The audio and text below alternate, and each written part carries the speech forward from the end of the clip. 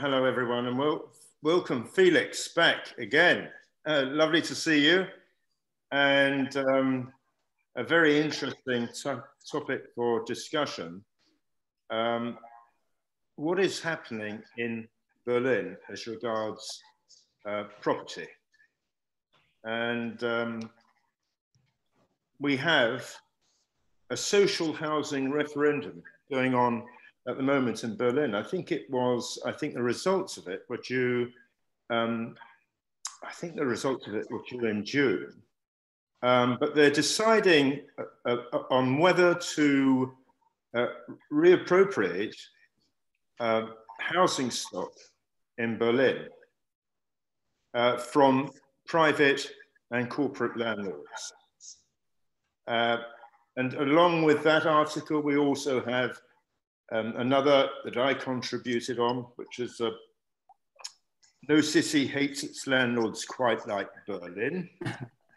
and we also had some very interesting links with, uh, uh, um, his name is obscured on my um, notes, Vulcan Zeiman, and um, the other link to the, uh, which was the 23rd Berlin Real Estate Talk.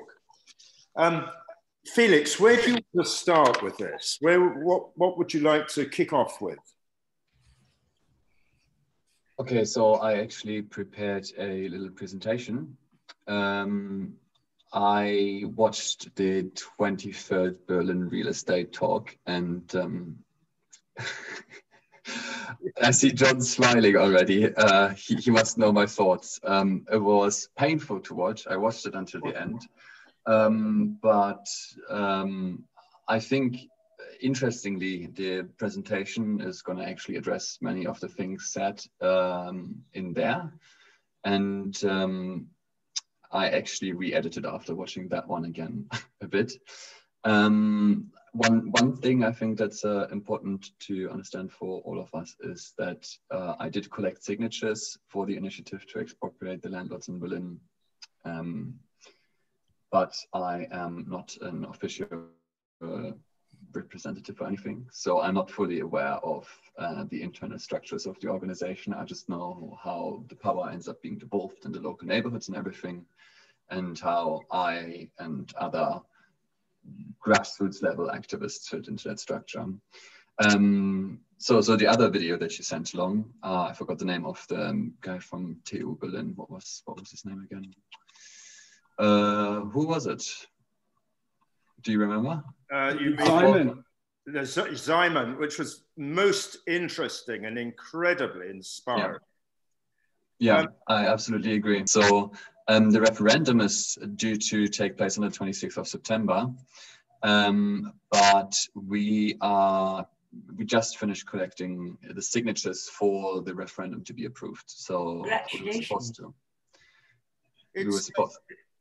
It might be also worth mentioning that uh, the Tempelhof Aerodrome had a vote yeah. in Berlin quite a few years ago and the people around the area of Tempelhof, which is a massive airport, uh, currently used for all sorts of social activities, nurseries, gardening, kite flying, cycling, you name it.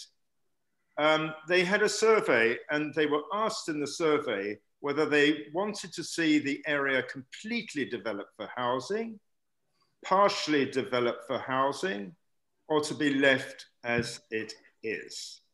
And my understanding was that the vote was to leave it as it is.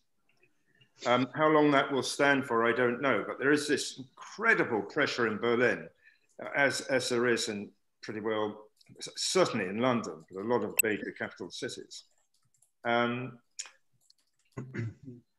yeah, um, you're, you're absolutely right. I think uh, the uh, the Tempelhofer Feld discussion is actually connected to housing as well. I mean, I'm not going to mention it in the presentation I have prepared, but um, it's it, the, the question was, of course, whether or not private real estate developers will be allowed to develop property on well, the favorite park of all Berliners. It's not a park, it's a former airport, right? But it is a park now. And the people rejected it, which leads, of course, to private landlords to argue there is too much red tape, neoliberalism. We need to cut red tape in order to develop um, properties in Berlin and solve the housing crisis. I will address it in the presentation. I just saw uh, go, go these ahead. arguments about the red tape and neoliberalism I will address in the presentation. Um, I, I, I, think I'll just try and share my screen. Yeah? Okay, so let's have your presentation. We're going to hear. Okay, we're off now. I, I, I live um, in uh, near Humannplatz, just north Prenzlauer Berg. So okay. neighbors just removed by time. All right, um, this is the uh, well holding slide of my little um, uh, presentation. Expropriate Deutsche Wohnen fight speculation. Expropriate Deutsche Wohnen. Um, that's the official name of uh, the uh, citizens movement in Berlin that's currently pushing to expropriate all private landlords with more than 3,000 flats, which in the end would affect about 240,000 flats uh, and their slogan is uh, fight speculation. I think it's one of their many slogans, but um, just just so everyone is, is on board with the branding, it will reappear. It's uh, in purple and yellow. And uh, here we have it again. That's me and my uh, younger brother. Uh, my, my mirror image, people say, um, after collecting um, signatures for, for several hours in in these little nice, highly visible vests. How we got these, and um, a bit about like how, that worked for us. I will I will talk about in, uh, in a bit. All right, um, just quick overview.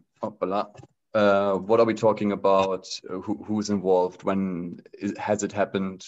There already was some confusion, right? Like um, the referendum hasn't yet taken place, but there were various stages in the democratic process of how this referendum came about, um, similar to what we talked about has happened in, uh, was it Sheffield, I believe, where citizens, of course, spotted a way to like democratically um, make their own decisions about their own space. Uh, and then out of that, step by step, collecting signatures, getting through approval processes and everything, this movement evolved.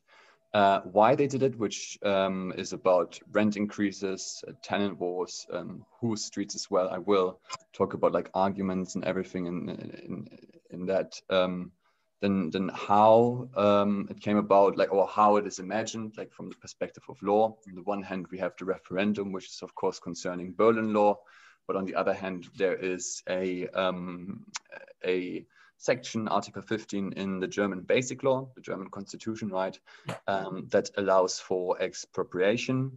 And there is also a clear economic vision on uh, the, the price that expropriation should cost, but also um, the public agency that should manage the 240,000 Berlin properties that would be returned into the hands of the state. So yes, and what the grassroots have to do with it. I will also present some pro and contra arguments. So I will have a slide with the most common contra arguments that at least I encountered while selecting uh, collecting signatures, how they like how how how how one can um, dismantle those pretty easily with simple statistics.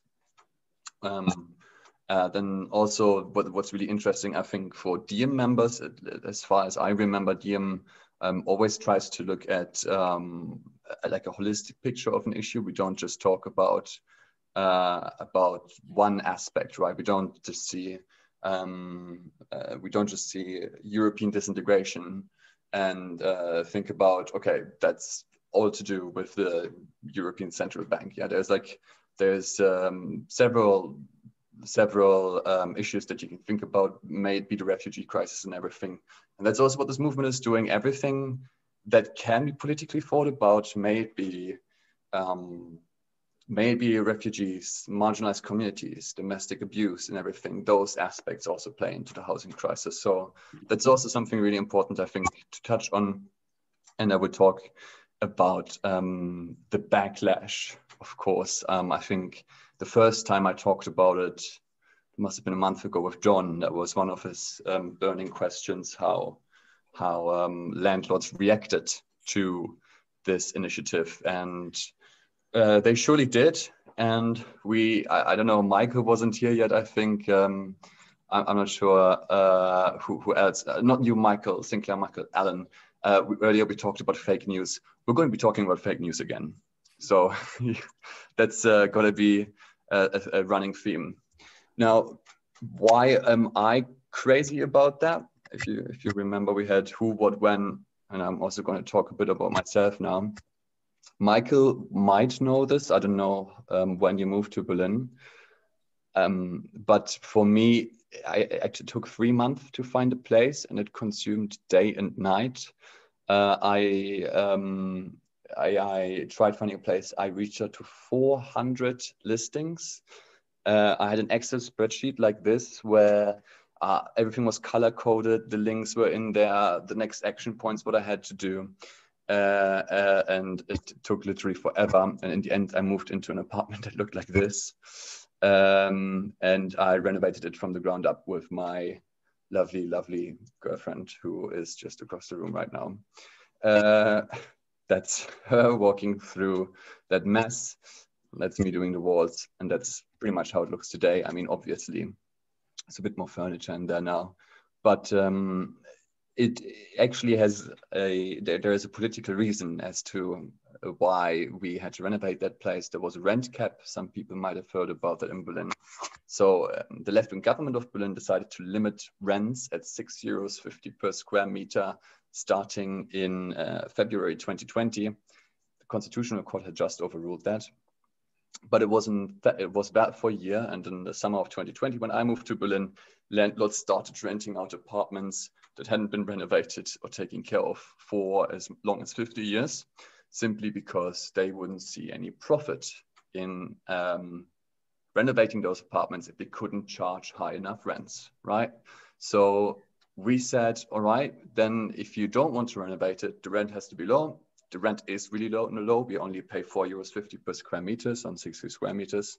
We can be transparent about that. So we only pay about 350 to 450 euros, 450 euros warm, which is really good. But we had to do all of this work and invest an initial amount of money, which is why we need to expropriate them and rent caps don't work, right? We don't want to have people having to live in dumps like this, right? Um, so the uh, Deutsche Wohnen enteignen, as in expropriate Deutsche Wohnen, um, was uh, conceived in 2017. The idea, it came out of the already existing local grassroots movement, Kotti and Co. That's something that Michael, I think, also had talked about before. Um, you, you, said there was, you, you've mentioned a video or a documentary from 2014 talking about tenants. Mietrebellen. Mietrebellen. 2014 Kreuzberg. Yeah. Exactly. So, so that this is just one more like Deutsche Wohnen and enteignen, which is what is important to understand is it was only conceived in 2017 and it's just one more link in a very long chain that started sometime in the 1990s and early 2000s when properties were privatized in Berlin of tenants taking action. We have tenant unions in Berlin, which have as much as like 150,000 members too there is this local organization, Kotti and Co, that focuses on Kottbusser Tor, which is a very, very small area in uh, in Neukölln, in Kreuzberg, actually in Kreuzberg, where traditionally the Turkish working class used to live, where rents are going up and everything. Um, and then they, they started, and they were also advertising for returning these properties into the state's hand in this area. And then they came up with the idea of like, why not all properties? Why not all properties that are that are owned by landlords who own more than 3,000 properties, which is a surprising amount of landlords in Berlin, actually. Uh, Deutsche Wohnen is the biggest one of those. Uh, they're traded on the stock market and they own about 110,000 properties in Berlin alone. So they decide the price or of rents in the city they and the cronies, the other um, organization, uh, the other gigantic uh, real estate landlords in Berlin, who who own all of these flats and who can set uh, their rents and dominate the rental market. Which is why, um, and that's that's I think, uh, which is why this process here on on the right. I don't know if, if that works for you. If I point in the direction of it, um, it's in German, and I will talk about it again. What I wanted to make clear here simply is we um, it started in 2018, the actual campaign, and it is supposed to end on the 26th of September this year with a referendum asking people whether or not we're going to expropriate landlords with more than 3,000 properties. So how is that going to happen? I call it the Peter Parker principle, where the German, the Article 50 of the German Basic Law says with property comes responsibility. So um, one, one of the core uh, ideas behind it is it says expropriation is log is logical, and if it is for the good of uh, society as a whole, is lawful. That's it. And the, the core sentence is because with property comes responsibility. Uh, exactly. Um, and and that's also what the campaign says. This is the core argument that says, or this is the core argument of the campaign. It says we can do this, we have done this, and we need to do it again because the rental situation in Berlin is getting out of hand. Section 5 of the Berlin Constitution, which is on referenda, which are Article 61 to 65. You really don't need to know this. I thought I'll just put the information there for anyone who wants to get into this, but you don't need to know that. It just has um, the this process of how to get um, a referendum on, on, any given law um, outlined. So you start with a uh, official campaign. You don't even have to collect any signatures. Then the Senate, as in um, the government of Berlin, will respond um, in, in any way fashionable or they see fit. Back then, they responded with saying, Your proposal would cost 38 billion euros. Um, it is nonsense, but proceed. Yeah, you collect need to collect 20,000 uh, signatures over the span of six months. Then they will check whether or not your proposal is lawful. Then you need to collect more than 180,000 signatures again in the span of six months. And then once you have done that, the Senate will set a um, time, which is this uh, this part here, right? I don't know oops, if you can, if I can somehow highlight that, we can maybe zoom in on it. Yeah, the Senate will set a, um, will set a, a date referendum. So that's the the legal um, recourse that citizens have in the federal state and city of Berlin. Berlin is its own federal state, right? That's important to understand. Um, it, I think we talked about it in Sheffield. People sought out their their own uh, way to to do this properly. Uh, I, I, think um, most cities and states and even even countries have in some way um, a, a recourse for citizens to come to bring their own political issues to parliament. I mean, we've seen it a lot of petitions in the United Kingdom and um, other sorts of uh, things. This process can still be flawed, and it was flawed um, after the initial period uh, when they selected 77,000 um, signatures. The city, which uh, was governed by, is governed and was governed at the time by the Social Democratic Union, who are very much in line with property owners and private landlords, they actually started um, pushing back the next step of the process and trying to like win time and hope the issue would go away. Uh, they didn't allow for the next step to start collecting signatures from June 2019 until February 2021. So that was a that that, that was polit- that was political will. The city um, dragged out the process deliberately and hoped it would go away. Uh, luckily, it didn't. The activists actually started pushing and saying, if you don't start with the next step, we will just do the next step because it is outlined in the law and we will hand you the signatures and then you will have to react. But uh, they, they did get there in the end, uh, luckily.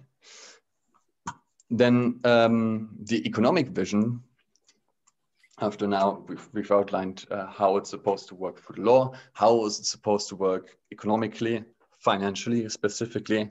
Um, there, there have been two numbers circulating by um, the city government. One is 28 billion euros, which um, is an estimate uh, which relies on the current today's fixed market value of all these properties that need to be expropriated in Berlin. And their first, their exaggerated um, exaggerated uh, estimation, 36 billion euros.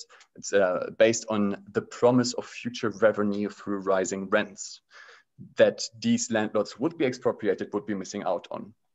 So I think what's important, the takeaway lesson here is do not rely on the government.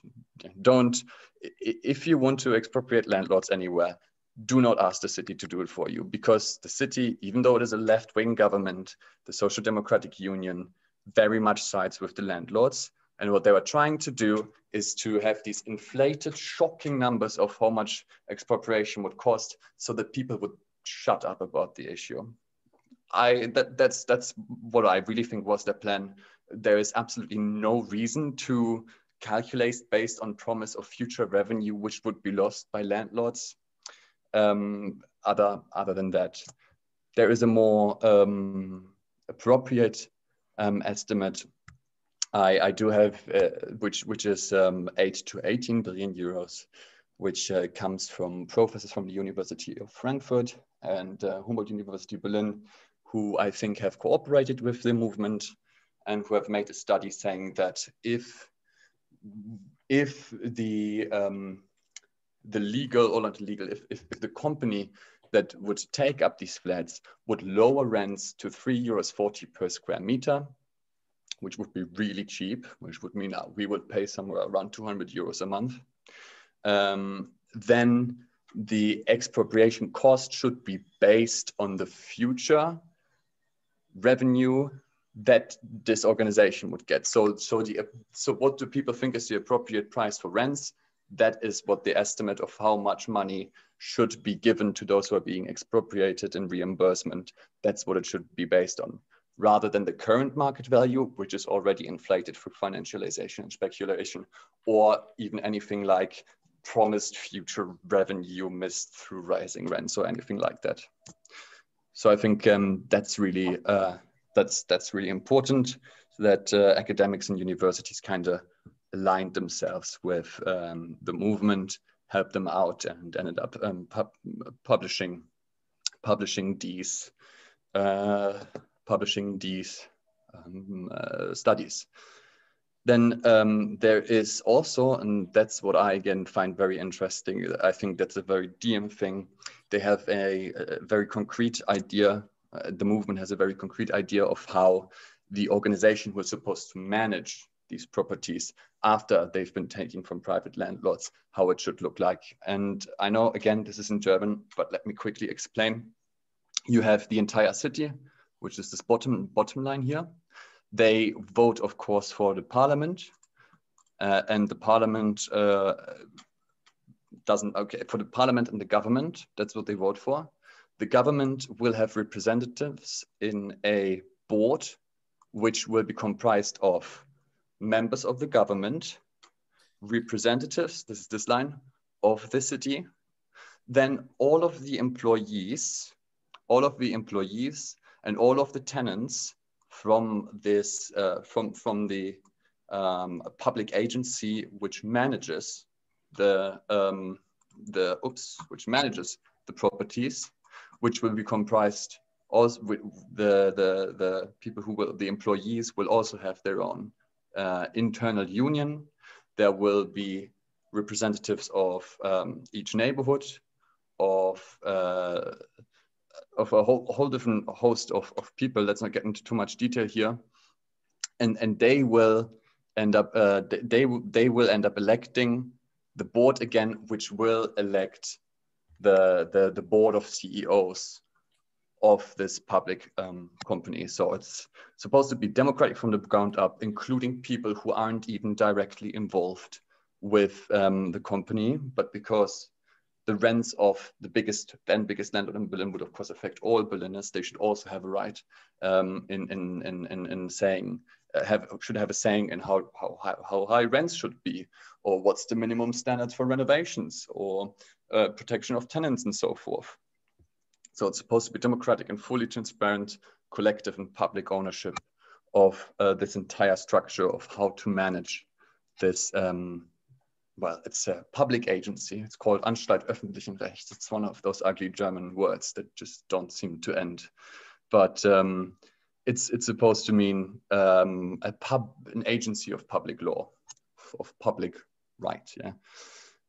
Okay. Um, maybe now the juicy stuff. I think what what what uh, Rosemary has been waiting for mostly, um, which is uh, how how did the organization of the movement itself um, happen. Again, I um, I didn't I wasn't involved with the with the top level organizing, but I can definitely tell you that from the ground level, it seemed uh, very effective in Prenzlauer Berg um, and Pankow Süd, where technically I'm from. But in Prenzlauer Berg, we had a very um, active Kiez team, and a Kiez is like a subdivision of a neighborhood in Berlin. So you would have um, I, I, think similarly in, in you would have Whitechapel being a part of Tower Hamlets. Tower Hamlets, the neighborhood, Whitechapel, right, the subdivision of that overall neighborhood. So similarly, not exactly the same, similarly in Berlin, you have subdivisions of neighborhoods, which are also much like much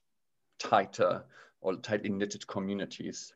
Not exactly like the villages in London, but perhaps um, yeah, perhaps like more on a on a on a cultural rather than necessarily historical level. Um, and each of these Kiez had their own uh, neighborhood group, a Kiez team. Uh, I was part of the Kiez team Prenzlauer Berg. There was a Kiez team uh, Kreuzberg, Wedding, and so on and so forth. The, uh, the power was like the core business of the entire movement, what we have seen in the structure earlier, is to collect signatures up until this point, right? Collect signatures to drive the democratic process that could then eventually trigger a referendum if successful, and they have been successful in that. Um, so, so the core responsibility of collecting these signatures was in these devolved units in each neighborhood, just a bunch of, okay, in our Telegram group, there's like 50 to 100 people in there, but they're not all active. But we would meet every Friday we would collect signatures regularly. We would try and do different kinds and sorts of actions. We would knock, go from door to door and talk to people face to face and try and um, take their fears. Many of them, of course, uh, having experienced the GDR, would say, oh, no, no, no, I don't want to have anything to do with expropriation and let the capitalists do what they want because I don't want to go back to the GDR. And uh, course, everyone, we would try and be like, this has nothing to do with East Germany. This is part of West German history and culture too. Um, so uh, as proven, of course, in, in uh, the constitution and everything.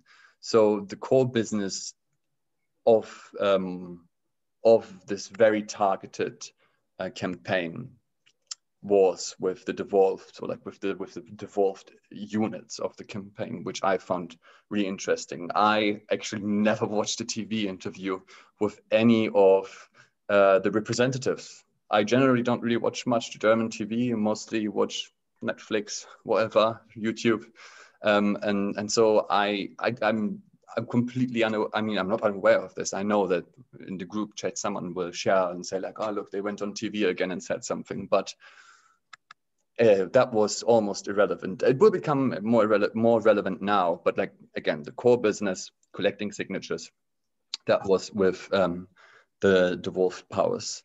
I do think that um, what I what I also wanted to show you is uh, they, they've created a very simple app. Um, I don't know if you can see that. It looks like this in the official branding. And all it does is uh, you can you can go on a map. It's really simple, and on that map there used to be lots of pins everywhere, and uh, you could just go to your closest point to collect signatures. So there would be a pin. You would click on a pin. It would say Friday seven o'clock, this location, collecting signatures, two hours. We need five people. and you can just do that. Anyone could do it. Anyone can download the app. Um, so very, very bottom bottoms up. And then, of course, what the app would also do is um, you could you could just uh, there would be Q and A's, uh, like um, the very basic stuff. When do we start collecting? How long do we need to collect signatures? Up until um, super intricate arguments about how much private landlords invest in uh, new properties and everything. So, but like very, very, very basic, um, informative digital material worked perfectly fine. And of course, funding, similarly to DiEM, just small donations. Mm, the, the last number I heard of was 60,000 euros that were collected before the beginning of collecting signatures, which was, as we saw on the little thingy, from the 26th of February until the 25th or 24th of June. Um, and then with those 60,000 60, euros, they did not go to waste. They got those um, purple, yellow vests, right? Highly visible, um, super present in the city, everything on brand as well. High recognition, like uh, we, we started illegally. Um, I didn't put a picture of that and unfortunately postering um, over the city on, on like house walls, and uh, on bridges and um, just just lampposts and everything. And I think people in the city were just constantly exposed to this to this to this visual of the movement is present. If you if you went out, chances are you see someone with a vest. If you go on a protest, you see hundreds of people with vests. But even just in, in your day-to-day life, you will spot it constantly. I, of course, have an eye for it and I see it everywhere. I'm like, there's a sticker, there's a poster, there's a person. But like, even if you don't care, you would recognize it. And then once this rent cap I earlier mentioned was overturned, it just clicked. Like everyone, suddenly the movement was everywhere. Everyone wanted to sign. They um, exceeded the necessary amount of uh, of, of, signatures by 100,000 or 120,000 in the end because everybody wanted to sign and everybody was aware of it. And again, on the one hand, you had a 60,000 euros that were collected and then really well spent by like more central organs, I suppose, of the of the movement. Um, but then the distribution, again, like it wasn't there was no central point where anyone went to pick up pick up the vests in each kiez in each subdivision of a neighborhood, right? There was a little shop, maybe a bicycle shop or a little cafe that in the back would like store a little a little box that was filled to the brim with informational material and lists and everything. And then in the app, you could look at the drop-off points if you were collecting a lot of signatures uh, in your own building that you could just bring there and everything. So everything highly devolved. I never saw the face of anyone someone would consider important. Maybe I did, I don't know, but um, I think it, that really spoke to me, right? This horizontal structure um, that I think is uh, what was absolutely uh, important. I did make a protest sign. I had a, you can see at the bottom here, I had a, um, I had a cable channel from my renovation left over and some paper. Yeah. Uh, that's that that says no profits with rent. It rhymes. It says keine Profite mit der Miete. And underneath it says erst das Essen, dann die Miete, which is an old communist slogan that the communists used on a rent strike in the 1930s, early 1930s. So it means first food, then rent. Yes, then let's just quickly, okay, that was the juicy part that that's probably one, what we will want to talk about a bit more in a, in a second. I just want to quickly flip through these, flick through these uh, last things I, I, I, really wanted to mention. Um, why not use this money to build new flats, even if it only costs, only, it's still a big number, 8 billion euros. Why not just build new flats? We don't want to rely on the market anymore, right? We, do, I don't, we don't think that if the government builds a couple of buildings now, uh, or even a lot of buildings. And then the next government overturns this decision like no more, no more of this. There should be a central organization. They, it will be self-financing. It won't even cost 8 billion euros. The rents will pay for the, for the credits that will be taken on. And then we will have a long-term, uh, a long-term organization that will work towards creating new flats. Bestandsschutz, it's a German word, again, funny German word, Bestandsschutz, uh, which means it will protect existing tenants. That's really important. It will like end evictions and, and it will end speculation in the city. Even if we build new buildings, right, the next government could just decide to sell them or uh, and then uh, it could sell them to the highest bidder and again it could go into the hands of a company that tries to um, that tries to uh, tries to make money by trading stocks on the market. So no more of this. We've had it, right? Um, then, oh, but expropriating landlords will disincentivize investment in new buildings. Private landlords in Berlin reinvest only 1.5% of their expenditures in construction. They're already existing and still very badly run state-owned enterprises in Berlin that own about 80,000 properties reinvest 27%. We believe that our, uh, our organization could go up as high as 40% because the state-owned enterprises are still run as private enterprises, having to overturn a profit. Um, and the CEO still makes 400,000 euros a year. No more of this, no more private market forces. We will build a organization that will serve the tenants in the city only. And expropriation happens all the time. And uh, I remember in this video, one of the guys said like, uh, expropriation has never happened in Germany. Germany constantly uses Article 15 of the Constitution to expropriate entire villages to uh, get coal out of the ground. So, yeah, so so much to to, that argument, yeah. Um, and then very quickly, that's the intersectionality thing I've mentioned earlier in the beginning. Uh, I hope I'm not boring you. I think uh, refugees arriving in the city shouldn't be held in uh, central centers or anything if there is such a thing as a centrally as, as, a central big organization, they can have contingency flats where refugees arriving in the city could could be uh, brought to rather than some sort of central detention center. The same goes for other marginalized communities who are being discriminated at the on the rental market. Um, this is a statistic from the United Kingdom that Black people are almost uh, five times as likely as white people to face discrimination when looking for a home. The same, of course, this is universally true, of course. Uh, the same is true in Germany. If, if you have a Turkish second name, you're like 50% less likely to hear back from a landlord. So all of this kind of stuff uh, that that would would end with an organization or, or, with with expropriating the landlords. We're not relying on private markets anymore and on transparent processes. Um, survivors of domestic abuse often have to return to the perpetrator. Um, this is a very a very important um, part of the campaign as well. This is a note um, that was published in 2016 uh, in a newspaper article of a woman from a Berlin woman shelter hotline. And it just speaks for itself. It's very sad. Uh, not sufficient space, client has separate children, woman will return to perpetrator's flat. Uh, we want a organization that will hold contingencies, that will keep flats for cases like this. So um, people don't have to go back to um, the horrendous, horrendous conditions uh, many of us live in. Uh, preschools and kindergartens are being evicted in, in Berlin as well by private landlords. Their um, contracts being cancelled. Um, artists, the culture scene, the entire identities of neighborhoods are, could be eradicated on the whim, on a whim of a private capitalist investor.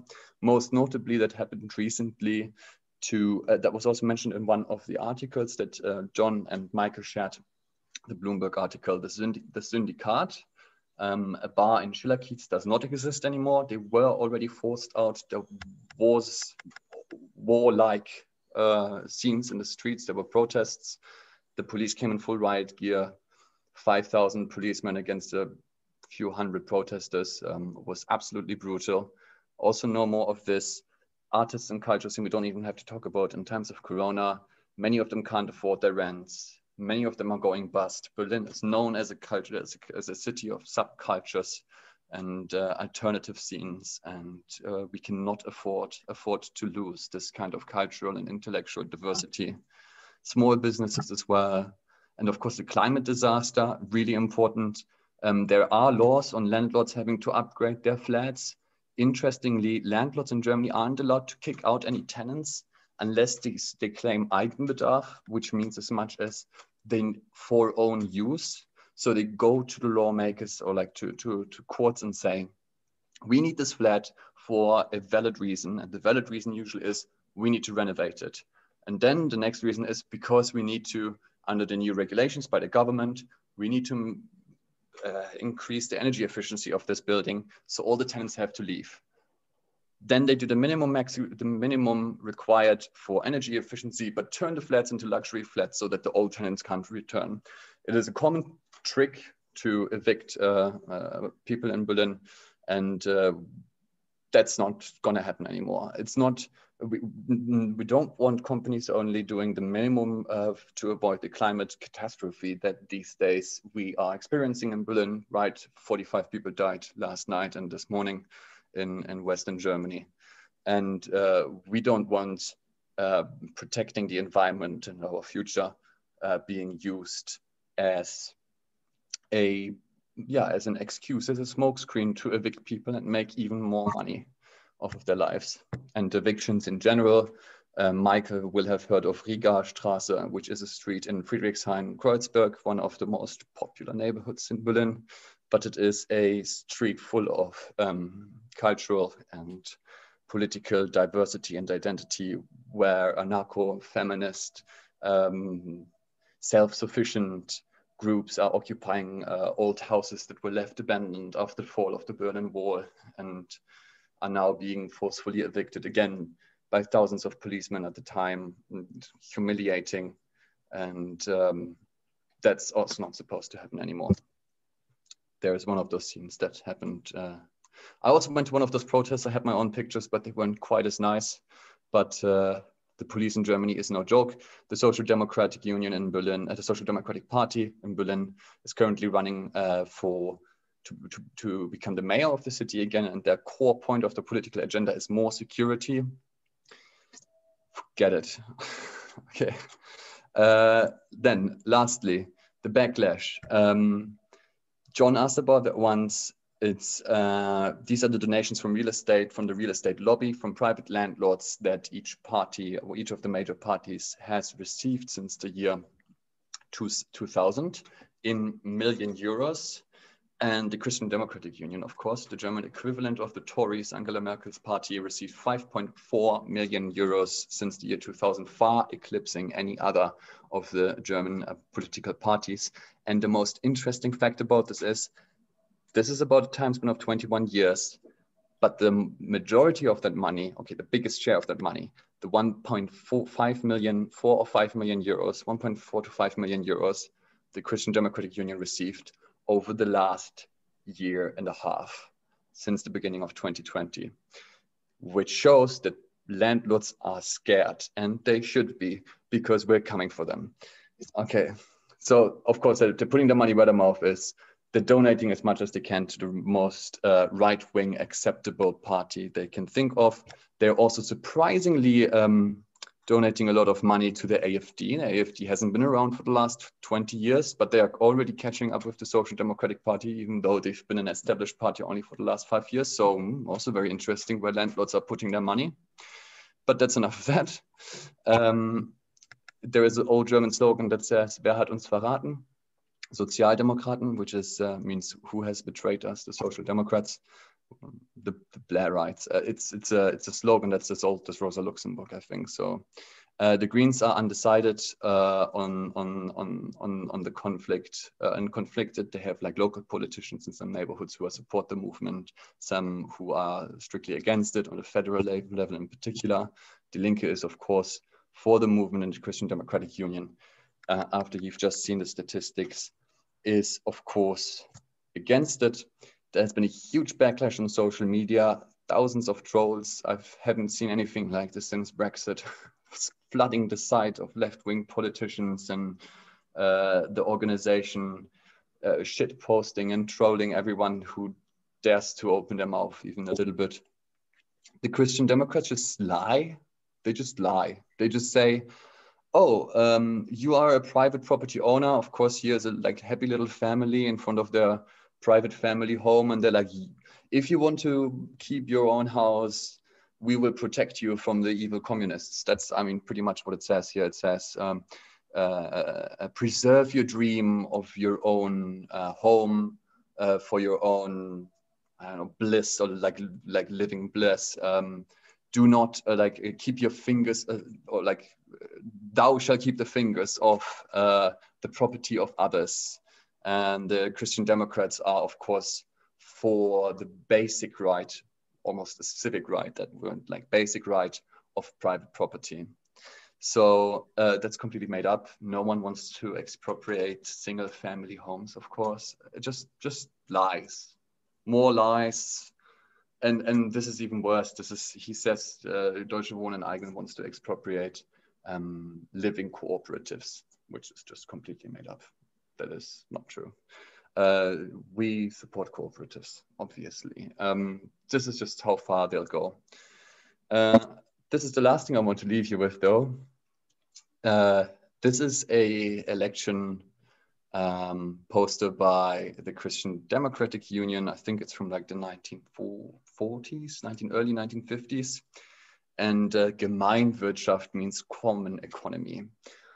And um, it's been circulated a lot, of course, within the campaign that don't, don't tell the modern liberals and Christian Democrats, but before neoliberalism, under Keynesianism, they were for it, right? They wrote those laws into our, they were the ones who wrote those laws into our constitution. It wasn't some crazy Marxist uh, lefty who, who, who smoked too much weed or however they would like to imagine us today. It was, it was them who wrote those laws and uh, we're going to use them against them.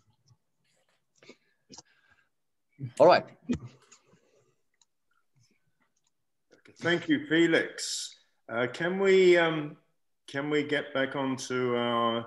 There you go. Thank you. Thank you very much, Felix. Uh,